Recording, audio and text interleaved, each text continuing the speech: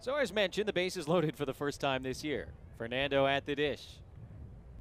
And the first pitch Oh. to Tatis is launched to deep left field. Slam Diego has come to Arizona, and Tatis, a no doubter, way up on the berm in left. And the Padres have themselves a five run second inning against the Diamondbacks. Tatis's first home run of the spring. It was loud, it was emphatic, and of course, it was a grand slam. My, my, my. First pitch fastball, center cut. And boy, have we seen that pose often from Fernando Tatis Jr.